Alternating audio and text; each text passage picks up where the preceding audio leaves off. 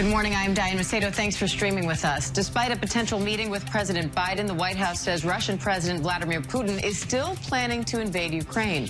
We have the latest on the crisis and new information on what could happen after an invasion. Also, ABC News has learned that President Biden's Supreme Court nomination could come as soon as this week. Biden's team spent the last few weeks reaching out to senators on both sides of the aisle.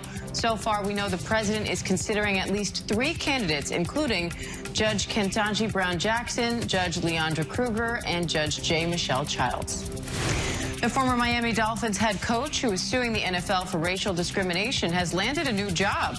Brian Flores is now a senior defensive assistant and linebackers coach for the Pittsburgh Steelers.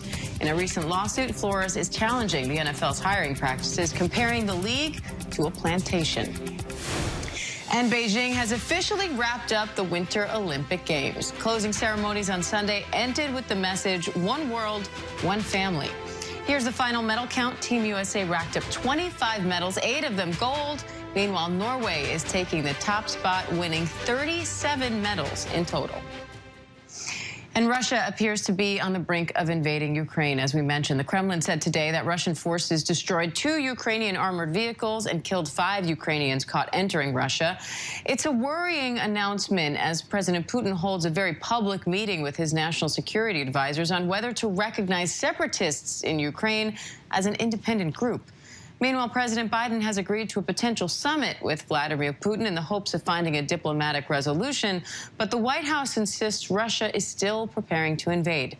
ABC News senior investigative reporter Aaron Katersky joins me from Ukraine, along with defense analyst Mick Mulroy. Gentlemen, thank you for being here. Aaron, I want to start with you because one of our reporters who's there in the region called this meeting between Putin and his national security advisors quote, utterly surreal. So what do you think it means for Putin to even propose recognizing these Russian-controlled separatist regions in Ukraine as independent? It would certainly be an inflammatory step, Diane, because it would effectively end the efforts for diplomacy. And there really are two things happening simultaneously. On the one hand, you have the, the Russian foreign minister saying that President Putin would be willing to at least think about a summit with President Biden. That's contingent on there not being any kind of an invasion. On the other hand, you had this rather extraordinary meeting of Russia's National Security Council where President Putin went around the room and asked people for their opinion of whether Russia should recognize these breakaway regions in eastern Ukraine as, as independent. And, and if he does that, that would give him the pretext that he needs to then send military force in under the guise of protecting the Russian speakers in those regions. Mick, what do you think Vladimir Putin's trying to do here? So, Diane, I think this is part of the playbook. Essentially, this is just theater. Uh, they are intending to do this. They are intending to invade. We've seen the forces come out of the assembly areas and starting to get into attack position. We've seen the activities in what we would call phase zero or preparation phase with cyber attacks and these really what I would call amateurish false flag operations and videos that have been deemed fraudulent almost immediately after disclosure. Uh, this just seems to be one more part of their plan uh, to prepare and then eventually invade Ukraine. And, Aaron, Ukraine has denied those reports that two Ukrainian armored vehicles and that five Ukrainians entered Russia and were destroyed. We have seen, as, Mitch as Mick mentioned, a barrage of false reports, staged videos by Russia already. So how credible is this announcement by Russia at this point? Well, you have to take it with a, a, rather large grain of salt, I think, because the U.S. and its Western allies believe this is simply Russia raising the prospect of a Ukrainian invasion to give them an excuse, again, to send in their own military troops, which have been massed rather menacingly along Ukraine's borders. Uh, the Ukrainians have used a, a, a, recent term of art, calling it fake news, that their, that their own uh, uh, people are launching attacks into Russia-controlled areas or into Russian soil itself, despite these videos and, and the like, which have only been ramping up in recent days. And I think it's part of the reason why we've seen the U.S. call it out at every turn. Secretary of State Blinken anticipated just this, false flags followed by uh, meetings of Russian officials to give uh, kind of a rubber stamp to whatever Vladimir Putin ultimately decides. And Aaron, a letter obtained by ABC News that was sent to the United Nations says the U.S. has, quote, credible information that indicates Russian forces are creating lists of identified Ukrainians to be killed or sent to camps following a military occupation. And that report includes journalists, anti-corruption activists, even minorities on a list of potential targets. So what do we know about that at this point? Well, this letter to the, the UN High Commissioner for Human Rights suggests that Russia will not be content simply with, with sending some troops across and, and staying in eastern Ukraine, but rather, and, the U.S. has talked about this, coming in to, to make regime change in Kiev, in the capital. And that would include then this list that the U.S. believes Russia is drawing up of, of journalists, of dissidents, and, and, others to really cleanse the capital, especially of people who might be anti-Russian or, or some kind of anti-Russian ideologues. And, that would then allow them to decapitate the government, install perhaps a puppet government, the theory goes. We're a little ways off from this, but the U.S. believes that, that uh, Russia really has some intent to cause significant human suffering if it moves forward with this invasion. And Mick, what do these developments from just today alone do for both the chances of, of diplomatic efforts working and, and how does it change a potential military response by the U.S.? Uh, so uh, first of all, I'd like to say that Aaron's exactly right. What uh, the, the, the role that the Special Operations Forces will play in this conventional conflict will be just that. They will likely go after command and control leadership targets. They will then start a whole propaganda uh, element, installing their own individuals. It's right out of what they call the Gerasimov doctrine, which is how Russia wages uh, war. So I think that's entirely right. I think the Spetsnaz will probably be leading uh, that effort. As far as diplomacy, I think, uh, and, and I think Secretary Blinken has made it clear, we are absolutely willing to continue diplomacy. Uh, they will agree to meet this Thursday uh, only if uh, Russia doesn't invade. And it does appear that Russia may be using all of these diplomatic efforts as simply a ruse to prepare for this invasion. Only time will tell. I hope that's not the case, but that's what it's looking at like right now. All right, Aaron and Mick, we appreciate the analysis from both of you. Thank you. Thanks, Diane. Meanwhile, back here at home, President Biden met with his national security team this morning on what's shaping up to be a decisive day in the ongoing Russia-Ukraine crisis. ABC News White House correspondent Mary Alice Parks joins us now with more on that. Mary Alice, what do we know so far about this meeting? Yeah, Diane, we saw the vice president as long, alongside the secretary of defense, the chairman of the Joint Chiefs of Staff, the CIA director, and Secretary of State Blinken all enter the White House this morning. The White House confirming, like you said, that the president is meeting with senior members of his national security team. And of course, this comes after yesterday, the president sat for over two hours with his National Security Council as well. And Mary Alice, the president, President Biden had agreed to a meeting with Putin on the condition that Russia does not invade the Ukraine. Now, given all of today's developments so far, how likely is that meeting now between Biden and Putin? Yeah, Diane, I have to tell you that White House sources are pretty skeptical that any meeting will happen. They said they, he agreed in principle because they don't want to close any diplomatic doors. But the White House continues to tell us that the overwhelming evidence is that Putin plans to invade, that that continues to be their assessment, that nothing has changed that. Nothing they're seeing on the ground has changed that assessment. And so no summit is going to be even planned, let alone take place, of course, if Putin does uh, march his troops across the border. All right, Mary Alice Parks at the White House for us. Thanks, Mary Alice. And England's Queen Elizabeth is said to be experiencing minor symptoms after testing positive for COVID-19. The 95-year-old tested positive for the virus after Prince Charles and Camilla were diagnosed. Lama Hassan is at Windsor Castle with the latest on the Queen's condition. The UK waking up to the news that Her Majesty has coronavirus. Buckingham Palace issuing a statement saying the 95 year old has mild cold like symptoms, but expects to continue light duties at Windsor over the coming week. I think the fact that they've said that she's going to be carrying out light duties, suggesting that she's carrying on working, is trying to give that impression that it's not too serious and to avoid any sort of sense of panic or alarm around the Queen's health. It has been widely reported that the Queen is vaccinated and boosted. But concerns for her health started over a week ago after her son Prince Charles and his wife Camilla both tested positive for the virus. with the palace confirming only that Charles had seen his mother recently. After the Queen had met Charles, the Queen had tested negative, so there wasn't any suggestion that she'd got it from him. There's been a mini outbreak of COVID at Windsor Castle, where she's mainly based these days, and I suggest it's probably from that. Majesty was last seen on Wednesday carrying out an engagement in person, leaning on a walking stick. The Queen quipping she wasn't able to move. How are you?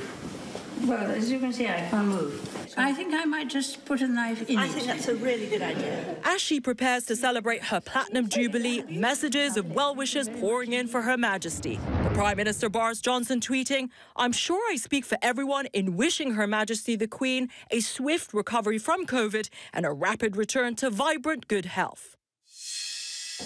Now, as for news on the Queen's health today, while the palace says they will not be providing a running commentary or updates on a daily basis unless there is something to say. So I guess no news is good news. Diane? All right, we'll take the good news for now. Lama Hassan at Windsor Castle. Thanks, Lama.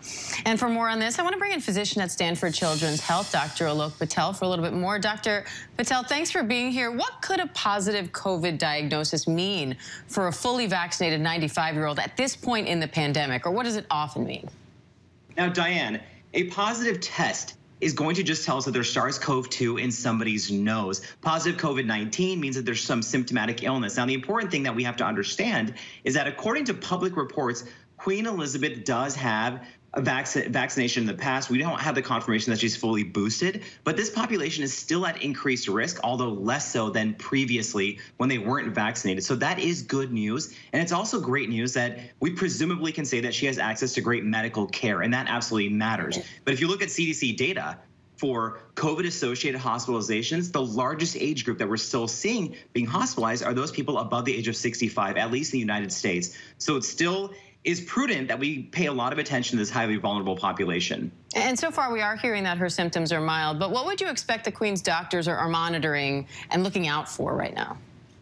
You know, I don't want to offer speculation about specifically Queen Elizabeth's case because if we were to generally look at any patient out there, we want to look at age, vaccination status, underlying medical conditions, which could absolutely kind of determine somebody's risk factor. So this is what I presume the doctors in England are looking at as would be the case with any patient. Now, again, I mentioned that we don't know anything about her specific medical history, but I would also suspect that in any patient, we can look at certain medications for non-hospitalized COVID patients that may help, such as things like Paxlovid, which is an antiviral, or Sotrovimab, which is the monoclonal antibody, which both show an effect against Omicron. So I suspect this is part of the arsenal and the history and kind of the tools that they're looking at to take the best care of Queen Elizabeth, who looks like she still has great energy, by the way, according to those clips. Yeah, she's still working, still carrying on her royal duties from the palace, or from the castle, I should say. Uh, and also in other COVID news, uh, what about this new Omicron subvariant. Could that affect the lower case and hospitalization numbers that we've been seeing in the U.S.? You know, Diane, with this subvariant, the real world data is kind of confusing because right now, if we so this is Omicron BA2. Only about four percent of cases in the United States are actually seen are actually being sequenced as BA2, and across the world, we've seen several countries where it's gained a stronghold, and in some countries such as the UK and South Africa, where the subvariant is actually becoming a dominant strain, hospitalizations and cases are going down, but this is the opposite in places like Denmark. So it doesn't make a lot of sense. Now, the study that's causing alarm bells is this lab study out of Japan. It's important to say that this is preprint, meaning it's not yet peer reviewed. But in a lab, a lab setting with animal models using hamsters and mice, they did found that, hey, it's possible that it could cause more severe disease, could be highly contagious, and may even be able to escape some of the antibodies and treatments we have, such as sotrovimab, which we just talked about. So I think the important thing here is that we maintain the surveillance. We're looking out for new variants, and people realize that even when we transition to an endemic phase, everything could completely change, such as this fall, which is why we still can't say, like, hey, we're out of coronavirus altogether. Now, the Wall Street Journal is reporting that U.S. regulators are looking at a potential authorization for a fourth dose of a COVID vaccine in the fall. So, what else do we know about that, and why the fall as opposed to the spring, which would be six months after some people got their last booster shot? I think the big three questions we have to ask right now, at least domestically, is regarding a fourth shot who would actually get this shot? What type of shot would it be? Would it be general? Would it be an Omicron specific one? And when would people get it, which is what you were alluding to? Now, right now, we've seen that Israel, Sweden, some other countries are already moving forward with plans for the fourth shot. But as of right now, it looks like cases are going down, hospitalizations are going down, and the original three-dose recommendation, or two if you got J&J, is still providing excellent coverage against severe hospitalizations and deaths. But Diane, I think what you were mentioning was that studies showing that after about two months, the protection does wane. But you have to take that into account with the data we have right now. It's what's happening, which is why in fall, things may change. That may be a different time period, especially as we get back into a colder season. And we'll have even more data by then, which is why I think it's a more prudent time for us to say, let's collect more data. Let's see if this can be bashed with the flu shot. And let's see what actually happens with real world data with the booster when we're not just looking at antibody levels, but we're looking at the complete picture. Is there any concern about being over vaccinated? Is that a is that a thing? Could that be a thing down the line? Is there any way this backfires? You know, I think anything could backfire if we're going against public guidelines because we won't have a great way to kind of follow that data. And I will tell you, between you and I and the millions of people who might be watching right now, I know several people who have gone against recommendations and gotten multiple vaccines by going to several pharmacies, people out wow. there who have a heightened concern. And I would recommend against that unless you are directly talking to a healthcare provider and if you're immunocompromised and you have increased concerns, talk to someone. Don't just go out there and get multiple shots by gaming the different pharmaceutical systems. That is not the way we want to do things. All right, great advice. Dr. Alok Patel, always great to talk to you. Thank you. Coming up, voting is underway in Texas, where some say new laws are making it tougher for people to cast their ballots. When we come back, we meet the 74 year old woman who made sure her vote counted.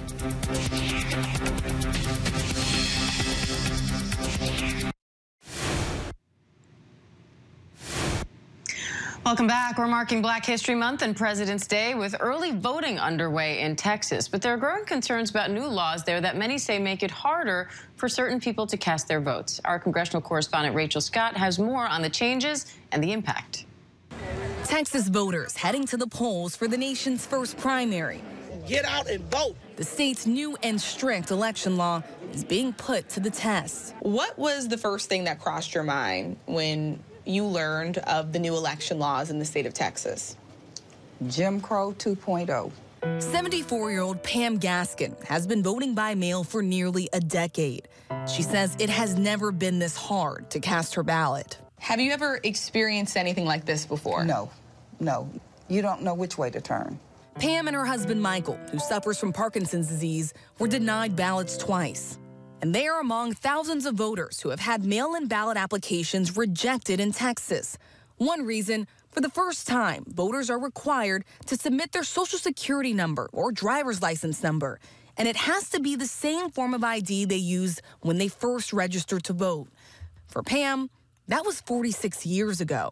I'm 74 years old. I certainly didn't remember what I put on my application. It took three forms, 28 days, several calls, and some guessing before her mail in ballot was accepted. These laws were meant to stop certain classes and categories of people from voting. Across the country, 19 states have passed laws that make it tougher for people to vote. Civil rights organizations are sounding the alarm. So we've seen really extraordinary results coming from the power of the black community in Texas. And, and unfortunately, it is exactly because of that power that we've seen state officials react by trying to make voting more difficult for that community. Republicans in Texas insist the new law protects the integrity of elections. Some voters support the changes. In your opinion, these new changes, you see them as helping protect elections? Yes, I do. Oh, yeah. I don't want any fraud. But Pam worries others won't go through the lengths she did to cast their ballot. I want everybody who can hear me say this to, to hear this. It is worth it. It is worth it. Don't give up. Don't give in. So, Diane, some civil rights organizations are calling this a test run for that new election law, but they say what's even more concerning is that some states are actually looking to copy it ahead of the midterm elections. Diane? All right, Rachel Scott, thank you. Coming up, how one 11 year old is spreading kindness and paying it forward to those in need. Stay with us.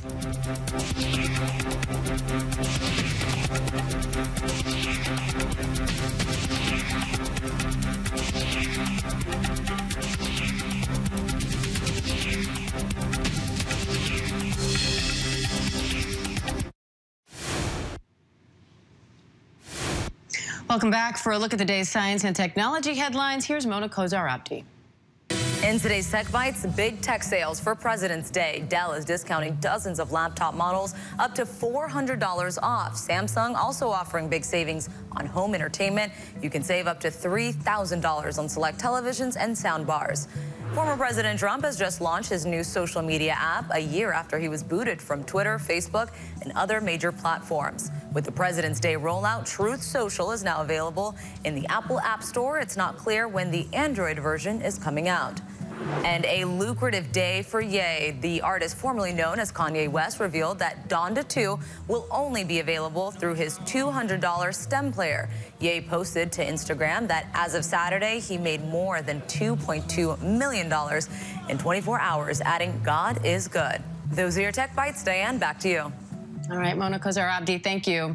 And today we're introducing you to a remarkable 11-year-old. He was recently named Kid of the Year, all because of his kindness and determination to pay it forward. ABC News Live Prime anchor Lindsay Davis has his story. Orion Jean considers himself an ambassador for kindness. For me, it can take on so many different forms from just smiling at somebody or holding the door. At just 11 years old, Orion is wise beyond his years. It all started two years ago at the beginning of the pandemic when he won the National Kindness Speech Contest. Kindness is more important now than ever before. At the time that I wrote this speech, the world seemed like it had shut down and hope was like it was like where where is it? Where is the hope? Where is the love? Orion, a living, breathing call to action, took the $500 prize money and paid it forward, creating Race to Kindness. I decided to start my own kindness initiative. His first kindness project, Race to 500 Toys, was a toy drive to benefit patients at a local children's hospital. He then moved on to a food drive, delivering 100,000 meals to families in need. He then turned to books, collecting and delivering 500,000 books to kids at book fairs across the country. This sixth grader, such an inspiration, Time magazine named him Kid of the Year. It's amazing to just think about how much of an impact it's going to make on the person who receives the kindness, and hopefully they'll want to spread kindness. And it's a ripple effect that goes on. Lindsay Davis, ABC News, New York. All right, Lindsay, thank you. And I'm Diane Macedo. Stay with ABC News Live for all the day's events and breaking news. We have more top stories for you right after this break.